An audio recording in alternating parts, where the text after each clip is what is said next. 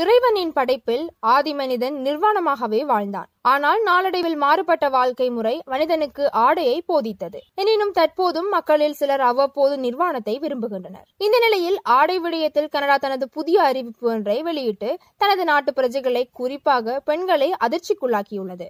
Ontario மற்றும் ஹியூபெக் நகரங்களில் உள்ள கலிப்சோ வாட்டர் பார்க்குகளில் பெண்கள் மேலாடை இன்று இருக்கலாம் என்று அறிவித்துள்ளது.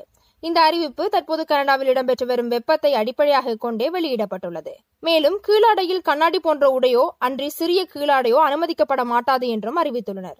ஆண்களினும் பெண்களினும் பொருத்தமான கீழாடையின்றி உள்நுழைய முடியாது என்றும் அவர்கள் அறிவித்துள்ளனர். இரண்டாயிரத்தி பதினேழாம் ஆண்டு கலிப்சோ மற்றும் சில ஓட்டப்பாக்குகள் மேலாடை அணிய வேண்டும் என்று வற்புறுத்துகின்றன என்று அடிப்படை மனித உரிமை மீறல் வழக்குகள் பதிவு செய்யப்பட்ட நிலையில் இந்த வருடம் இந்த விதிவிலக்கு அறிவிக்கப்பட்டுள்ளது.